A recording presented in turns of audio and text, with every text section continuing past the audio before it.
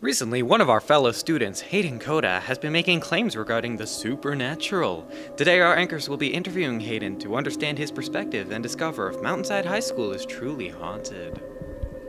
Hayden is pretty shaken up. We need to be very gentle with our approach. Are you delusional? I'm starting to worry about Hayden. I've never seen him like this. Do you think something's going on at home? Thank you for joining us, Hayden. Would you like to talk about your experiences with the ghost in the basement?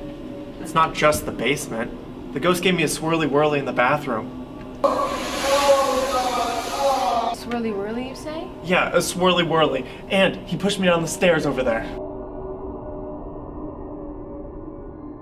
he even takes my lunch money, guys. You gotta believe me.